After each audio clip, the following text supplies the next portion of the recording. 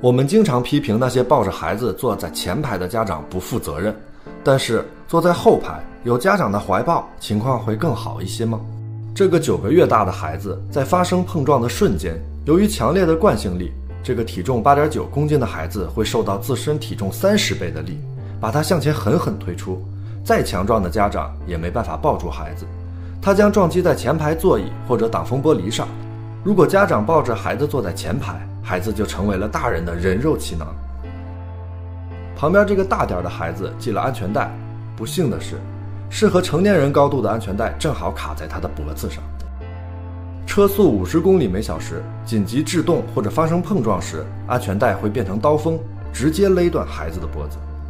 所以，就算是成年人，在身高没有一米三五的情况下，也需要做增高垫来避免安全带勒脖子。除了颈部。头部、胸部、腹部等也会受到严重的伤害。在车速五十公里每小时下发生碰撞的瞬间，这个三岁大、体重十五公斤的孩子头部、胸部的瞬间加速度高达六十到七十倍的重力加速度。